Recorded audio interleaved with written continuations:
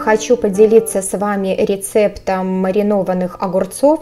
Я по этому рецепту закатываю огурцы уже много лет. Это рецепт моего папы. Папа, большое тебе спасибо за него, если ты меня смотришь. И для меня эти огурцы идеальные по своему вкусу. Ну вот я себе представляю маринованные огурцы именно так.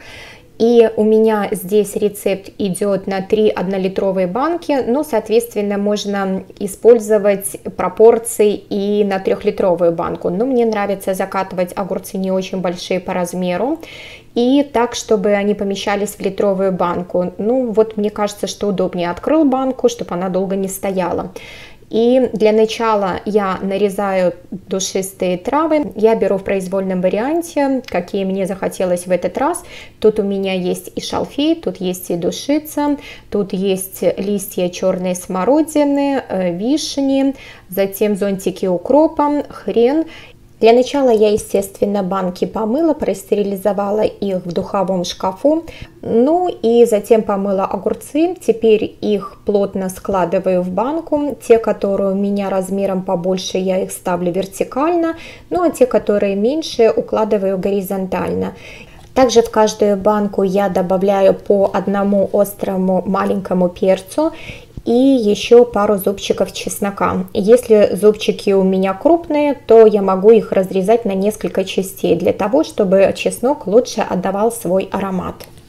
И, конечно, мне нравится использовать огурцы еще более мелкие по размеру, но в этот раз они у меня вот немножко переросли, поэтому, ну, ничего страшного, будут вот такие. Это будет тоже очень вкусно.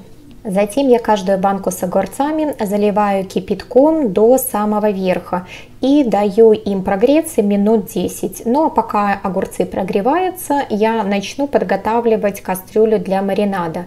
Насыпаю в кастрюлю 3 столовые ложки сахара и 2 столовые ложки соли. Соль я беру не йодированную, обыкновенную столовую поваренную.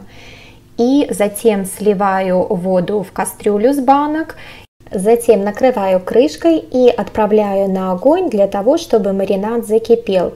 Ну а пока у меня маринад будет закипать, я добавляю в каждую банку по одной чайной ложке сухих семян горчицы и по 3 столовые ложки столового уксуса. Я использую 9%.